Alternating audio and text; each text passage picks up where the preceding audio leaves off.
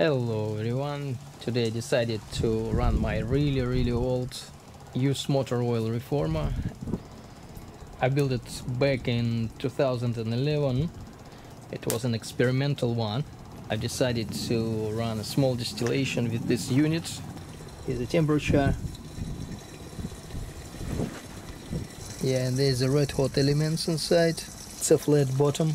It's a semi-continuous system no temperature control as such required. It should be run at its maximum to completely disintegrate destruct all the hydrocarbons that goes in. So there's only black carbons left within the reactor and it needs to be removed from time to time. It's really easy to do. Everything is just removable and you can take it apart in a matter of seconds I'm running uh, used diesel oil. Uh, the previous video showed how I run it through the centrifuge and remove quite a lot of sludge from there. Now here we've got oil supply into the machine and it can be controlled. We can open up or close the valve and here we've got quite few outlets. As usual we've got really terrible wind. It's normal condition of weather in this region, in this particular place. Now here, this one is the main outlet and here we're gonna collect some diesel fraction and uh, the higher we go the more thinner fractions we're gonna have. In this case I decided to collect two fractions a little bit lighter than diesel possibly some sort of kerosene. I'm gonna collect them together. The petrol fraction is gonna be collected separately here yeah wind is really strong. I already got this container blown and everything is on the floor.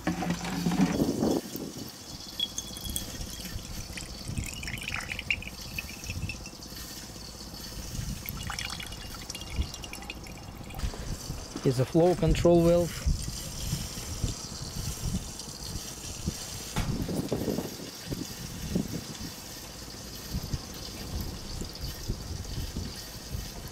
have some sort of portions coming out.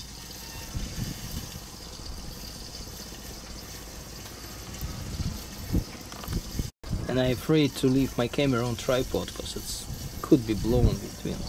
It's more like an extraction fan. And here's the oil. This oil going into the machine through the pump. The wind is terrible. It's just you can see it blows everything and I had to use a couple of concrete blocks over here. And here's a breather breathing tube and petrol tube at the same time. All light fractions are come out of this tube. Production rate is not that fast but it's a really small machine really tiny one. It's approximately 1.5 kilowatt maybe 2 kilowatt thing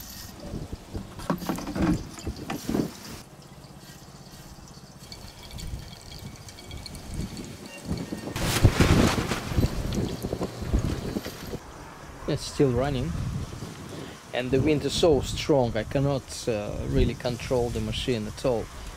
Crazy. So annoying